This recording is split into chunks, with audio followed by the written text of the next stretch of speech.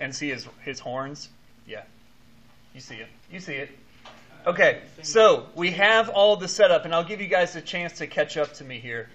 Um, vertical line, a vertical line, horizontal line across the page. That's our principal axis. Draw the mirror somewhere on it. It's convex, so it curves away.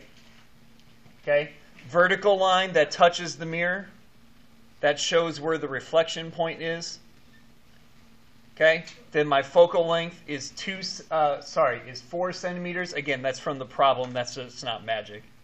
Okay, so the focal point, four centimeters away. I put it on the curved side. The focal point always goes on the curved side. C is always double F. So F was 4, so C is 8. What is C? It's called the center of curvature. It's just another point. Um, we need two points on here, and one of them is C. But it's always double F. I guess I can give you a better explanation than that. Um, C is if you turn the mirror into a complete circle, C is the center. So that's it is actually a thing. It's not just something I made up. Which I know that's what a lot of what I tell you to do is. It's like, oh, Mr. B just made that up for us to do. Not this time. Um, I like how I just insinuated that the rest of the time it is. Anyway, We go to Um, college, we actually know nothing. that's right. Um, so we got this here, and this is my object. Notice that everything absolutely has to be to scale. So you have to draw two centimeters has to be two centimeters. Four centimeters has to be four centimeters. Um, you can always turn it into centimeters. So if I give you a problem in inches, you could do centimeters instead of inches. If I gave you a problem in miles, you could do millimeters instead. You can do any scale as long as it's consistent. I'm going to try to give you ones that actually make sense, though. Okay. All right. Any questions before we move on? Okay, let's do this sucker. So there are three lines you have to draw. The first line you draw is parallel to the principal axis and then reflects through F. The second one you draw goes through F and then reflects parallel, and the third one you draw goes through C. So let's start with the one that's parallel. So what I do is I draw a line that's parallel to the principal axis. So it's parallel. They always start at the top of my object, and it goes to that vertical line, not to the mirror. So I'm going to draw a line that goes from here to there. It then reflects through F. So what I do is I touch that part on the mirror, well, that vertical line, and I go through F and I line it up. And remember, my reflection I do as a dashed line just to show the difference. You don't have to do that, but that's what I do. Okay? And I do it as a dashed line. Now, it reflects backwards the way it came, but it's important to go behind the mirror too.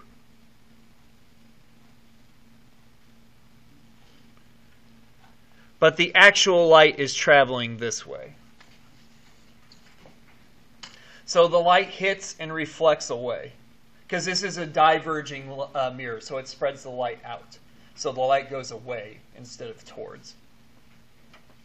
Okay, there's the first one. Okay, second one. Second one goes through F and then reflects parallel. This is where it gets a little tricky. So I line it up with F, but I'm not actually going to make it to F. You'll see. I'm drawing to the mirror. Notice how it gets stuck at that vertical line before it gets to F? So you just stop there. And then you go parallel back.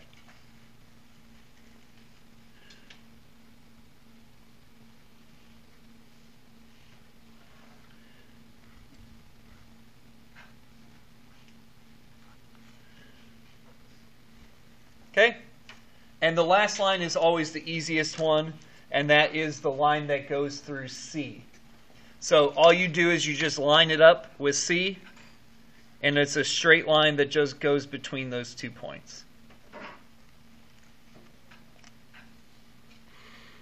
So it goes to the mirror and then reflects straight back.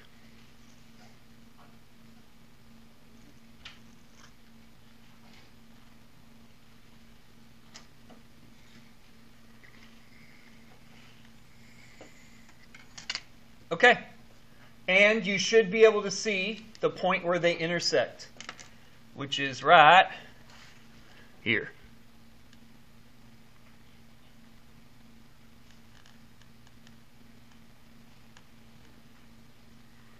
So this is my object. This is my image. So notice a few things about the image. So first of all, notice the image is on the wrong side of the mirror. It's on the right side instead of on the left. Okay? That'll tell us what kind of image here in a second. Um, notice it's right side up and not upside down. In the previous example we got, it was upside down.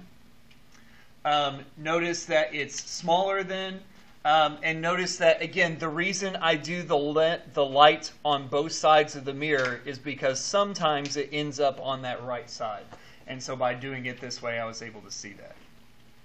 Okay, so the last step is to measure the things it asks you for, and it wanted to know is uh, HI, and if it was real or virtual.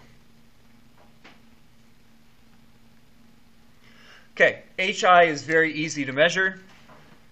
I just get my ruler and I measure it. And this is one and a half centimeters. So HI, 1.5 centimeters. DI is also pretty easy to do. You just put it at the vertical line where the mirror meets that, and you measure out from there. Okay, that one is also one and a half. It's just coincidence. Don't assume it should always be the same. And if you know what real and virtual are, it's also pretty straightforward to do. Real are always going to be on the left side of the mirror. Real are always going to be upside down. This is on the right side of the mirror, and it is right side up, so this is virtual.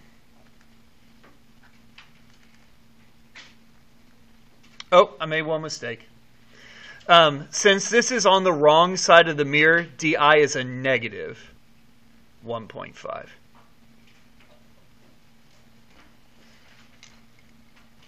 That's a like that's a super minor, easy little mistake to make. I don't even know that I would necessarily take off points on that on the test. I would probably just point it out, but it should be negative in this case because it's on the wrong side of the uh, mirror.